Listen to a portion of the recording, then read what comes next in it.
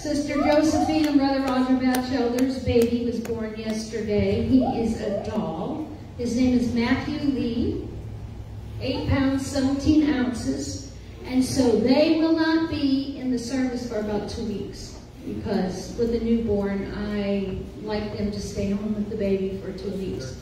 That's uh, when they're building up their immunity, and especially with COVID and everything that's going on, um, I told them that I would rather they would stay with their baby for two weeks. So we're going to be down them for about two weeks, but then we'll be able to see the baby. Um, and there's plenty of pictures online. He is adorable. Um, also, we have, um, looks like some people out sick, so we'll pray for them um, towards the end of the service. But uh, at this time, I'm going to turn the service over to the brother and sister Mitchell and Anna.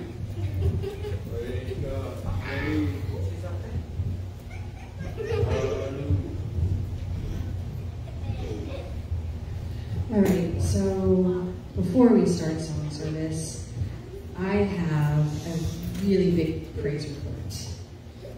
I had gotten paid for my job and I paid all my bills, looked at my bank account, and I had $5 left. No food, no formula, no diapers, and I panicked. And I will have to admit that instead of trusting in God and believing that He was going to do everything 100%, I panicked. I went into panic mode. I said, okay, I've got to change this. I've got to fix this. Only to go to work the next day to tell my boss that I might have to quit because I can't afford to work there. And they have now provided food for my kids and me for the weeks. They have provided formula for the baby for about a month. They've given us diapers, and it looks like I'm also going to get a raise. And they're going to help pay for my electric bill. All right. All things that I was planning What job does that? Never heard of it. Nobody. And it's and it, it's the big person at the hospital. He heard of it and he said, "No, we're gonna we're gonna do this." And he got the other big wigs of the hospital together. HR. HR. I mean, it's like Yeah. the the top one at the hospital, not the nurse, but the HR. businessman. Yeah. And We, the Lord has given her uh, grace in their sight. They don't want to lose her. And they have just, they told her, and there's more. There's more. We've got extra money for this, and there's more. Nobody else needs it, so you're going to get it. Just wait. Don't make the decision. Just wait. That was all they would tell me. Just wait for the end of the week. Don't make a decision. I've never, I've never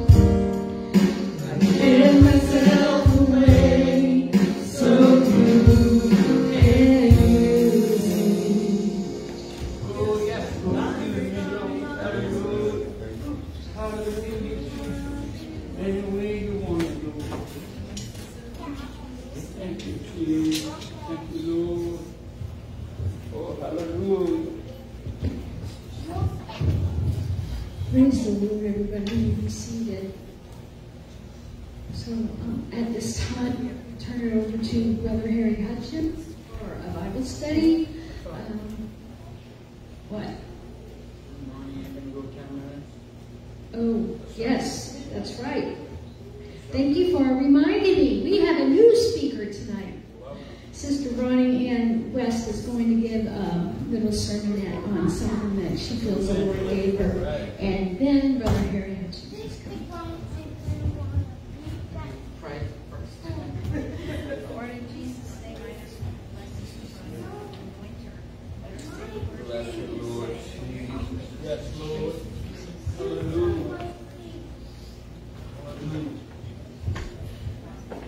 I was teaching my grandchildren about rebellion.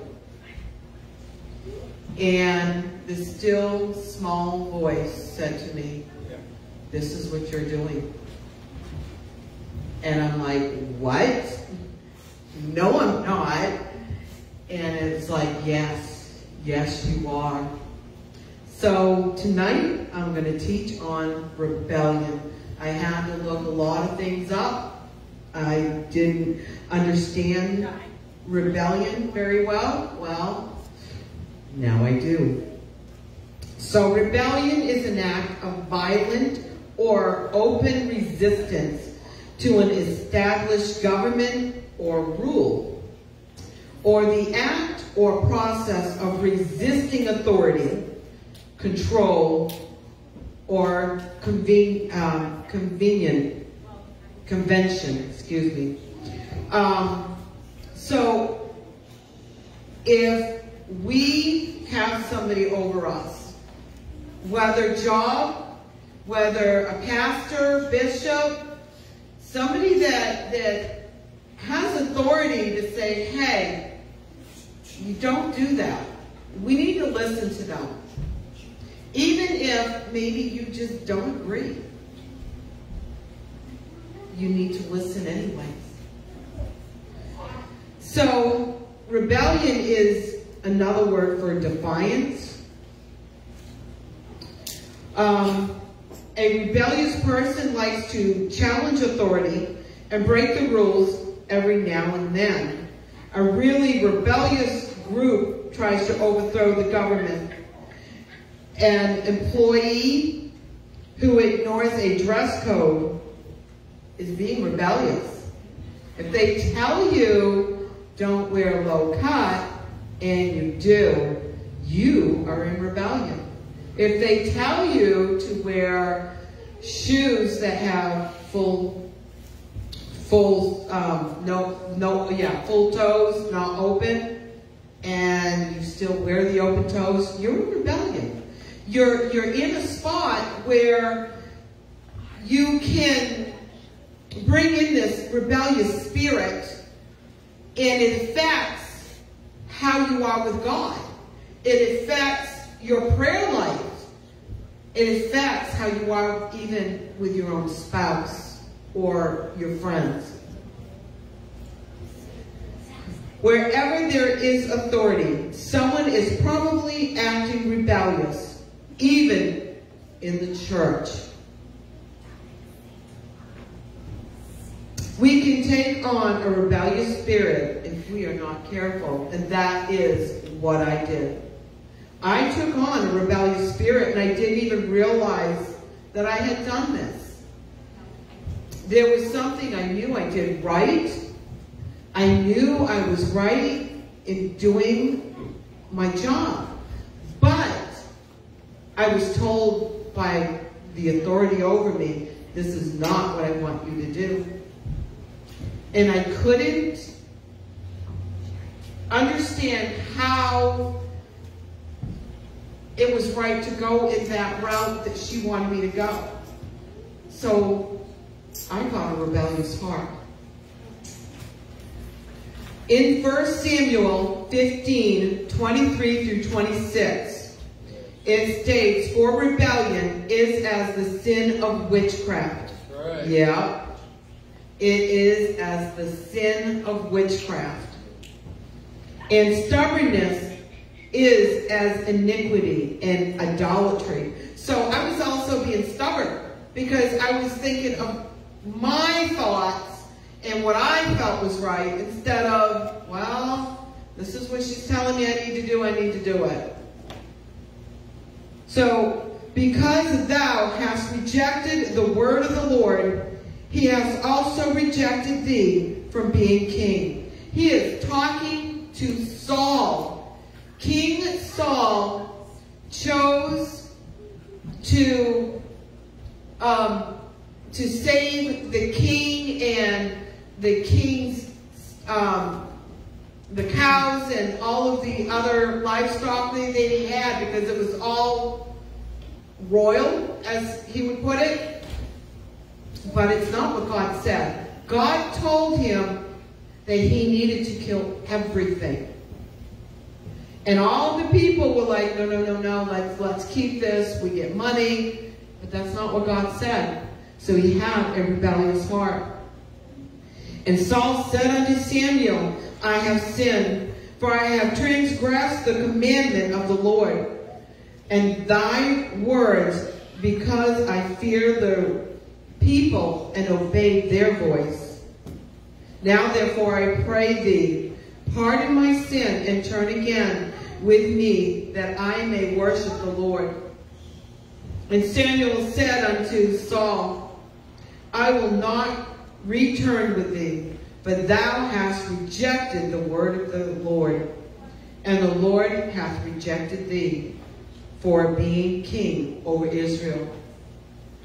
God had placed King Saul as a king. And Saul rebelled against the words that God told him to do. So God said, I placed you there. I'm going to take you away, take you right out of it. Proverbs 29 and 1 states, He that often reproved or corrected uh, um, harden, hardeneth his neck, shall suddenly be destroyed, in that without re remedy. Correct me if I'm wrong, but my understanding of this is someone being corrected, they harden their heart, they harden their neck, and they don't listen to that correction. And because of it, they will be destroyed. In Daniel 5.20, it states, But when his heart was lifted up, and this is talking about Nebuchadnezzar. So when Nebuchadnezzar lifted up, excuse me, when Nebuchadnezzar lifted his heart up and his mind hardened in pride, he was despoused from his kingly throne, and, and they took his glory from him. What? he lost his throne too. So that's not one king, but two kings losing their throne over rebellion, over pride. Because that's what rebellion is. Rebellion is pride. We can bring a spirit of rebellion upon ourselves when we disagree with the authority figure and act upon thought, those thoughts and those feelings. Whether we agree or not, we need to have a submissive spirit. We need to have a humble heart. When we feel we have been done wrong, we get a stiff neck. We don't want to listen or hear what needs to be said. We also can become oversensitive and react in a rebellious way. I'm sorry. We can be sensitive to things that people say, and especially things that we really need to hear. So we have to be really careful to not allow rebellion to come in. So how do we fight rebellion? The Bible tells us pride goeth before destruction and a haughty spirit before a fall. It's Proverbs 16, 18 through 19. Better it is to be of a humble spirit with the lowly than to divide the spoil with the proud. And then Proverbs 22, 4 says, By humility and fear of the Lord are riches and honor and life. So if we have a humble heart and we fear the Lord, we will have riches, honor, and life.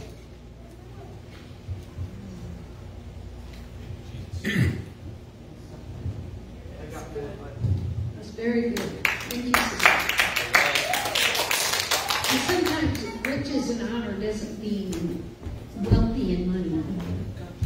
You can be rich in other ways. Rich in Yes. friends, rich in, you know, God gives us what we need. He doesn't always give us an excess. And I, I have a way of saying, you know, I pray for a car. I want a Lamborghini. God gives me a Beetle. you know what I mean? He knows exactly what I need. And maybe the Lamborghini is such a gas wouldn't be able to afford to drive it anymore. So he gives you an economic Beetle. the Lord does everything for our good. And I don't know who you are. You don't like to be told that you're doing something wrong. It just rubs you the wrong way. So I learned a long time ago to go home and pray about it and ask the Lord for the Lord's mind so I could come back and be humble. Because it's hard to be humble. Who here likes to be humble?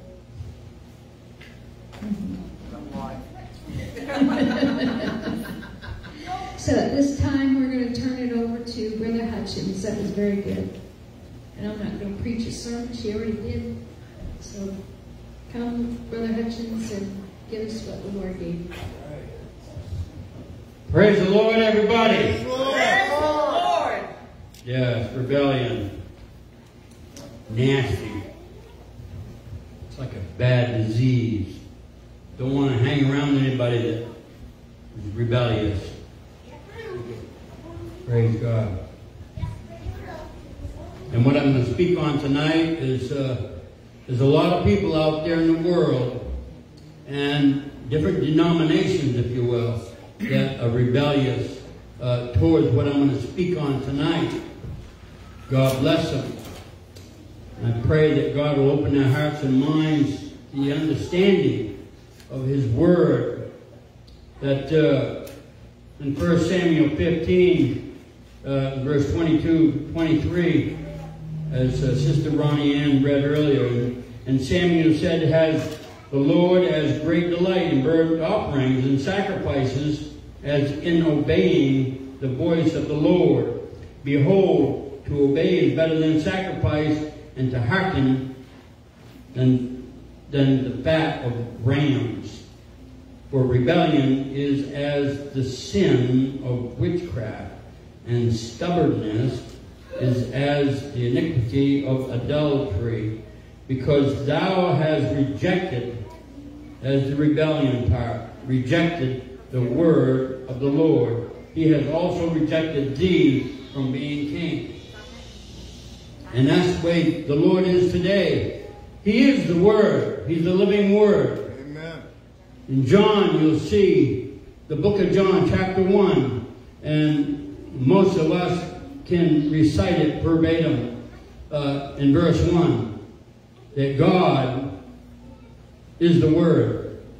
In verse 14, He became flesh and dwelt among us.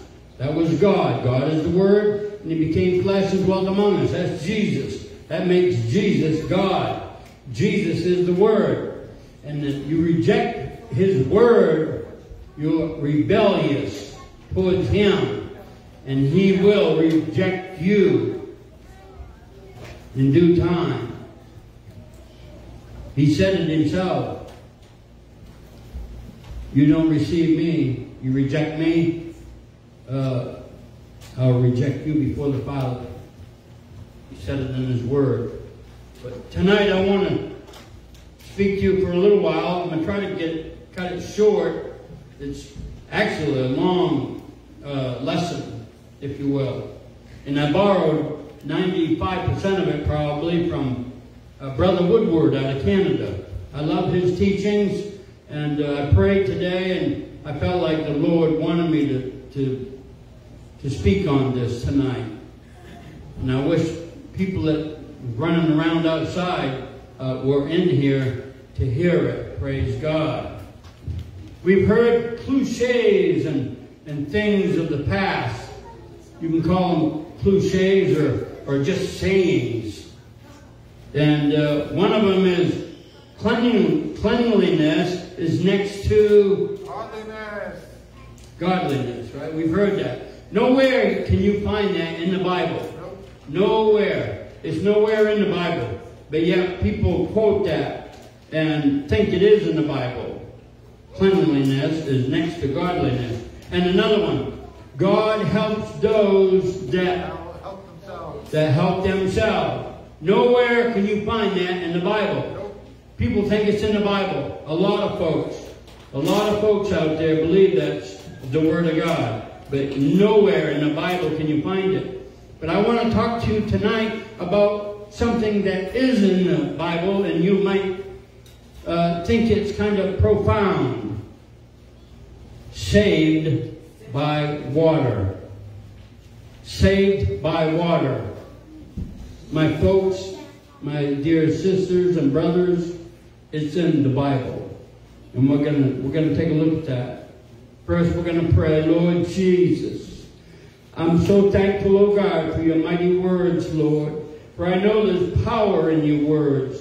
There's deliverance in your words. There's salvation in your words, oh God. And I ask, oh Lord, if you'll open up our hearts and minds to the understanding of your word, oh God. And everyone that's listening, oh God, the, under the sound of my voice, oh Lord. Touch them, oh God. Give them a revelation, oh Lord, of your word. In Jesus' name, give them a hunger and a thirst, oh God. In Jesus' name I pray. Let's go to 1 Peter 3 and verse 20 and 21. Right quick and in a hurry. This is Jesus. Which is sometimes Jesus went and visited these people in prison, and which were sometimes were disobedient, rebellious. When once the long suffering of God waited in the days of Noah, while the ark was being built or was a preparing, wherein few, that is, eight souls were saved by water. The like figure whereunto even baptism doeth also now save us. It's not the putting away of the filth of the flesh, but the answer of a good conscience toward God by the resurrection of Jesus Christ. Hold it right there.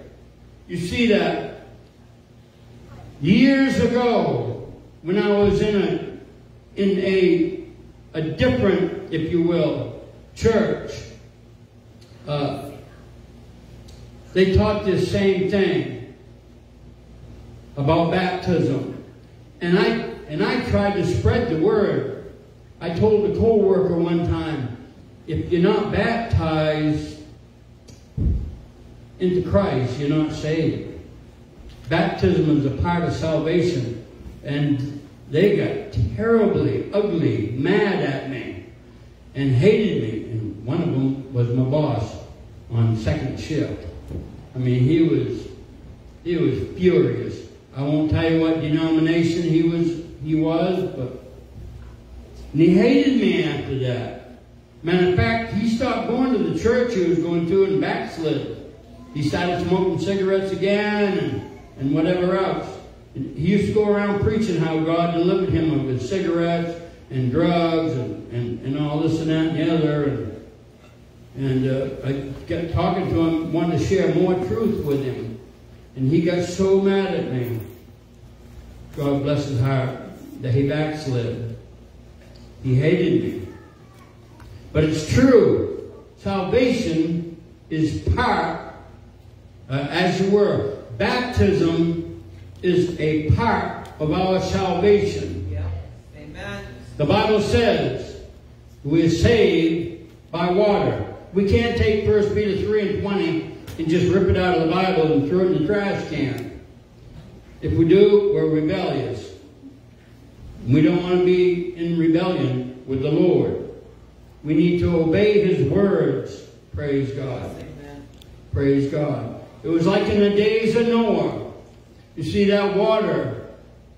That water destroyed all the sin and all the evil on planet Earth that was in the sight of God. He couldn't take it no more. He couldn't stand it. It was so wicked, so sinful. And he told, he found, uh, Noah found favor with God. I said, by grace, God worked with Noah, and he had, had him build an ark. And, he, and Noah built the ark according to the specifications God gave him. Now, what even if Noah decided to make it out of popple, the ark, or make the ark out of hemlock, or maple, or birch? I would, I would have thought cedar would, would have been real good. Very light, strong, and it has a very high tolerance or resistance to water. A lot of people, uh, Mississippi and back in the whatever, made rafts out of cedar. Uh, very good, floats very well. But no, Noah built it according to God's word. And guess what happened? When God brought forth his judgment on planet Earth and totally flooded it to destroy all the sin and evil, Noah and his family, eight souls, were saved by water. They rose above all that sin and wickedness. In the like manner today, baptism doeth also now save us. We just read it. And it's not the putting away the filth of the flesh. It's a good conscience toward God. It's not just a, a show of, well, I've just joined the local church and I'm showing you that I believe in Jesus. I think I'll get baptized. No. It's through a good conscience, by a good conscience toward God. You really love God, you want to obey His word. We're gonna we're gonna get into it here a little deeper in a minute. Praise God. It's part of our salvation. It's through a good conscience. By the resurrection of Jesus Christ. Let's look at Matthew quickly. Matthew 24, 37 through 39. For those of you that just came in, we're talking about baptism. Saved by water. Baptism. It's a wonderful thing. Praise God. Matthew 24, 37. It says, But in, in, the, in the days of Noah were, so shall also the coming of the Son of Man be. For as in the days that were before the flood, they were eating and drinking and marrying and giving in marriage until the day that Noah entered into the ark, and knew not until the flood came and took them all away. So shall also be the coming of the Son of Man. People are not going to know the day and the hour. It's going to catch them by surprise, just like it did back in the days of Noah. Praise God.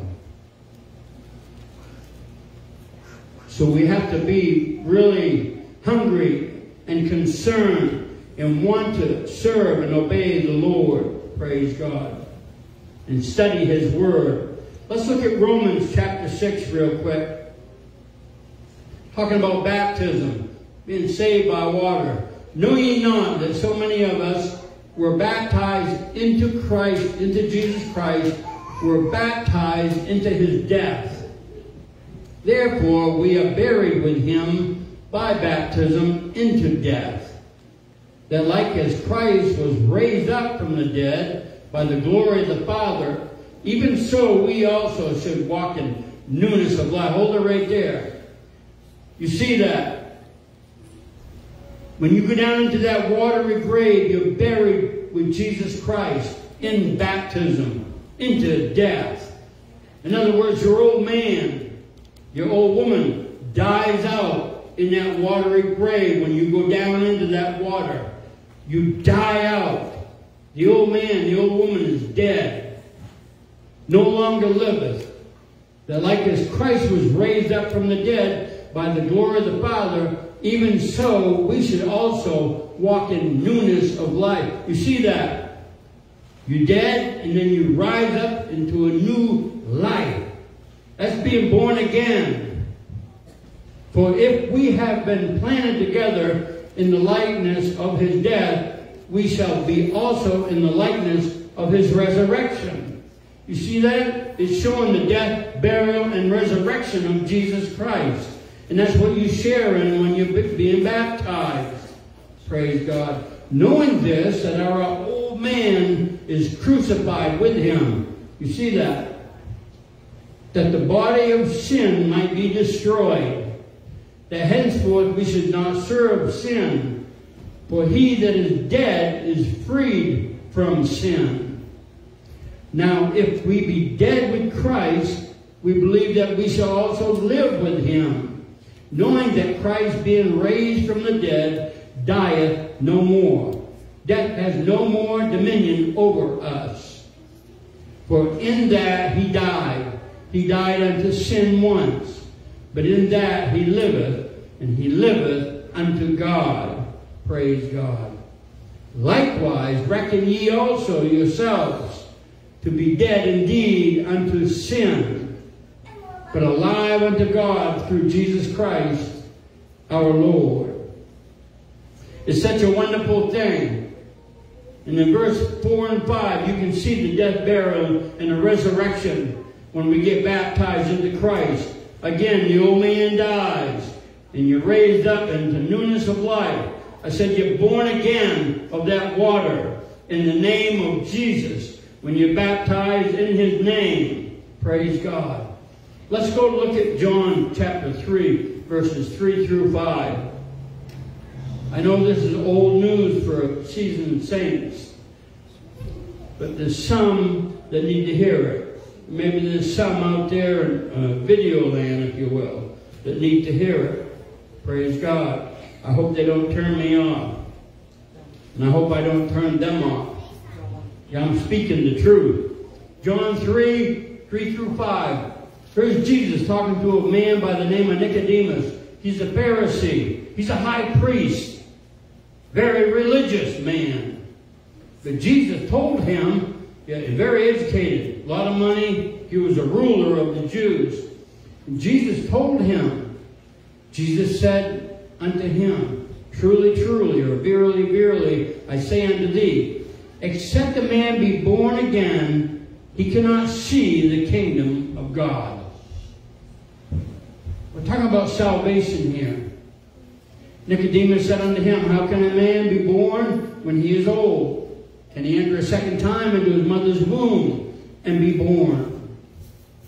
Jesus answered and said, Verily, verily, or truly, truly, I say unto thee, except a man be born of water and of the Spirit, he cannot enter into the kingdom of God. So you see, it's a must, folks. It's a must. You must be born again of the water and the Spirit. Tonight we're talking about water. Saved by water. Praise God. You must be born of the water and of the Spirit. Praise God. And we're going to get into why. Let's look at Matthew 1 and 21. Matthew 1 and 21. An angel came and told Mary, Jesus' mom, and she shall bring forth a son, and thou shalt call his name Jesus, for he shall save his people from their sins. You see, that's what Jesus came to save us from. Somebody ever comes knocking on your door, are you saved? Half of them don't even know what uh, being saved from. Most of them think you're being saved from going to hell. Jesus came to save us from our sins, which puts us into hell. But he came to save us from our sins.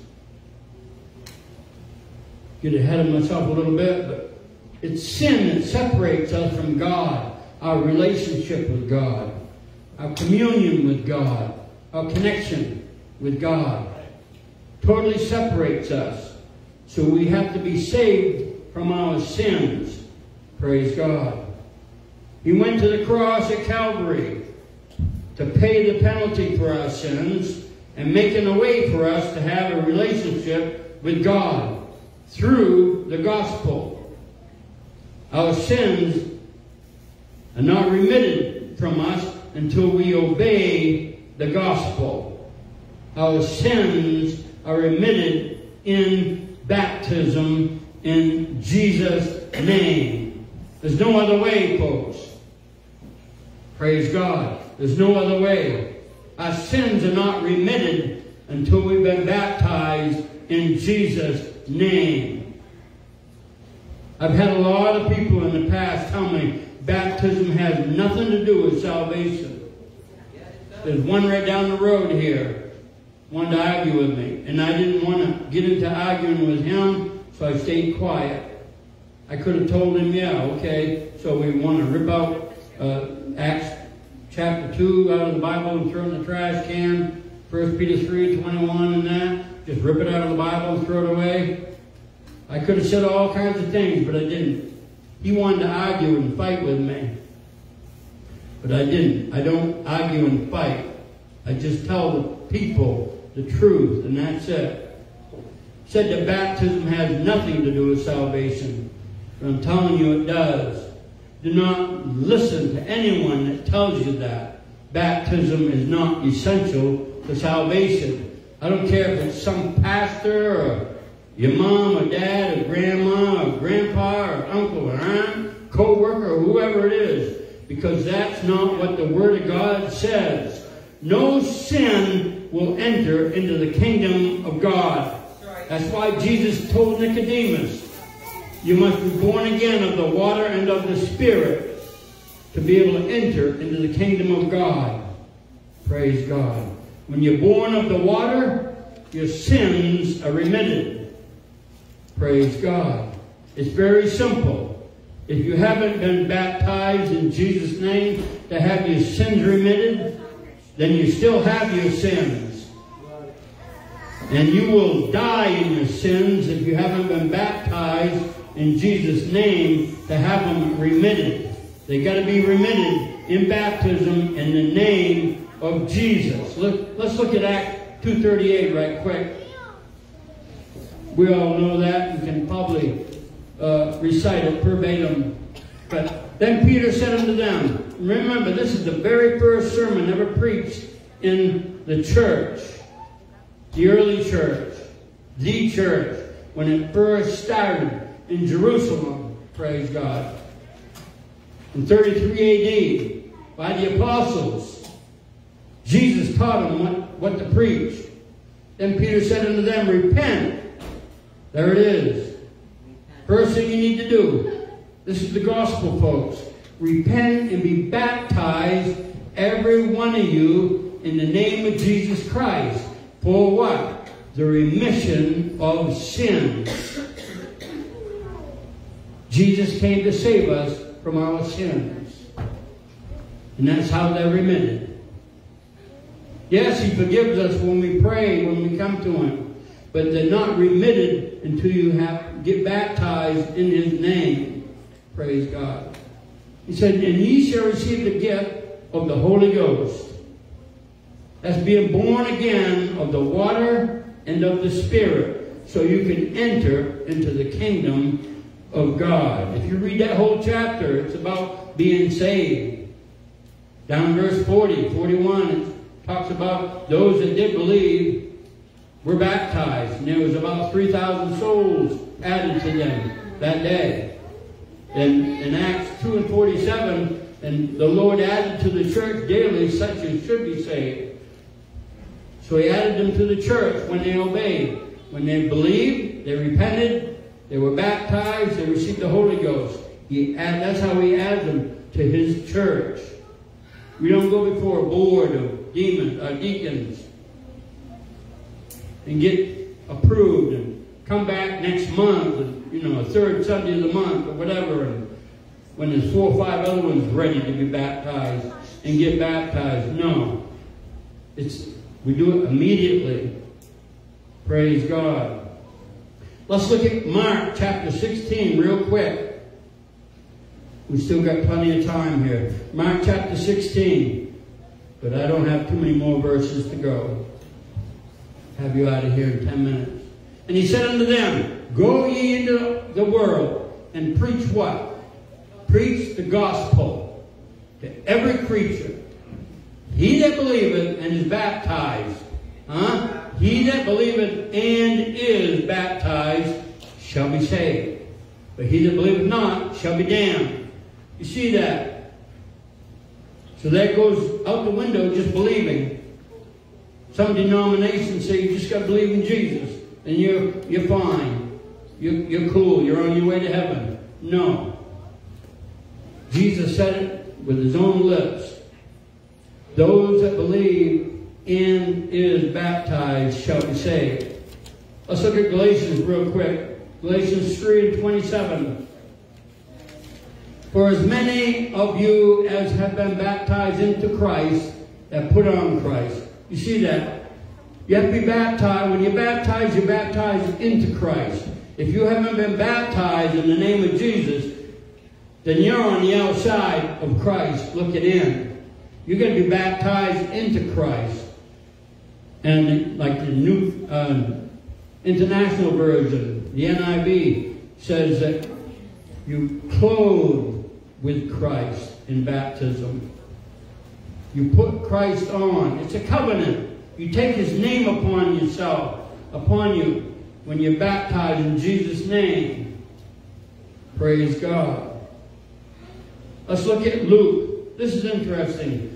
Luke chapter 1, verse 73 through 77. I'll read it right quick and in a hurry. This is about John the Baptist coming and teaching and, and making the path straight for the Lord. The oath which he swore to our fathers Abraham, this is the oath, that he would grant unto us that we, being delivered out of the hand of our enemies, might serve him without fear, in holiness and righteousness before him all the days of our life.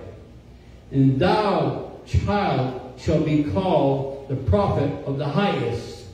For thou shalt go before the face of, of the Lord to prepare his ways, to give knowledge, here it is, to give knowledge of salvation unto his people by the remission of their sins. You see that? This is how you receive salvation. You have to have knowledge of salvation by the remission of sins. And that's what was preached, praise God. Let's look at Luke 5 and 24.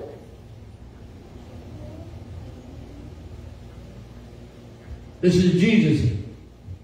If you read the whole story there, he heals this paraplegic laying on his bed.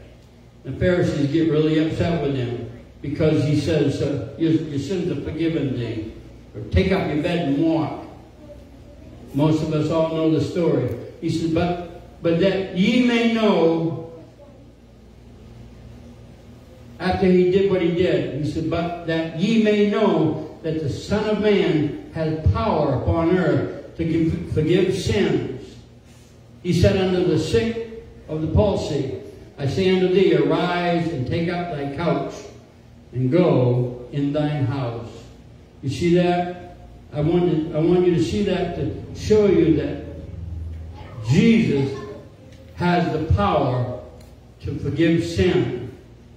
The Pharisees in the background said, oh, only God has power to forgive sins. Well, I mentioned earlier in John chapter 1 verse 1, the Word was God. And the Word became flesh and dwelt among us in, in verse 14. That was Jesus. That was God in the flesh. And He has power to forgive sins, folks. Praise God. Matthew 28, 18 and 19, real quick. We're almost done. To show his power. And Jesus came and spake unto them, saying, All power is given unto me in heaven and earth. You see that? Now, all power in heaven and earth is given unto him. No one else has any power. He has the power to forgive sins. That's why you have to be baptized in Jesus' name. Because all the power is in his name. He has all the power. Praise God. Go ye therefore and teach all nations, baptizing them in the name of the Father and of the Son and of the Holy Ghost. And if we had time, I'd show you who the Father, the Son, and the Holy Ghost is. You can read Isaiah chapter 9 and verse 6 and see it for yourself. Unto us a child is given, a son being born, and what his name would be, praise God. He has the power to forgive sin. Titus 3 and 5, real quick. Titus writes, Not by works of righteousness which we have done, but according to his mercy he saved us by the washing of regeneration and renewing of the Holy Ghost. You see that? Praise God. He washes our sins away in baptism. It's so important, folks. It's part of salvation. And finally, let's look at Acts chapter 22 and verse 16. There's a man by the name of Ananias baptizing Saul, which became Apostle Paul, who wrote two-thirds of the New Testament. He said to uh, Saul or Apostle Paul, he says, And now why tarriest? Why wait? Arise and be baptized, and wash away thy sins, calling on the name of the Lord. Praise God. I've got one more verse the Lord gave me. I didn't give it to Bob. I don't have it written down. But it's Second Thessalonians. Look over here in all the T's. If you have your Bibles, all the T's. Thessalonians, Titus, Timothy's. Second Thessalonians chapter 1 and verse 6. I'm going to read it real quick. Seeing it, it is a righteous thing with God. It's a right thing in God's sight, in God's eyes. It's a righteous thing with God to recompense. That's to pay back tribulation to them that trouble you. And to you who have trouble, come and rest with us when the Lord Jesus shall be revealed from heaven with his mighty angels in flaming fire, taking vengeance on them that know not God, that don't know God, and that obey not the gospel of our Lord Jesus Christ. They rebel against the gospel of our Lord Jesus Christ. They don't want to. They don't want to hear it. They want to say a prayer and think they're saved and be fine. Believe on Jesus, and they think they're they're, they're golden. Praise God. Some have it right. Some baptized, but they don't have the name. That's where I came from. A different church, if you will. They truly believed you had to be baptized to have your sins remitted. If you didn't, you still had your sins. But they didn't do it in the name of Jesus. And it has to be done according to the scripture. Acts chapter 2 and verse 38. Book of Colossians chapter 3 says, Everything you say or do, do it in the name of the Lord Jesus Christ. Everything. And baptism is one of the things that we have to do. Praise God. Let's all stand.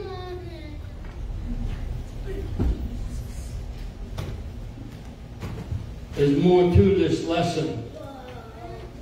Everyone throughout the book of Acts was baptized in the name of the Lord Jesus, the name of Jesus Christ, the name of the Lord, or the name of Jesus. Praise God. Every one of them.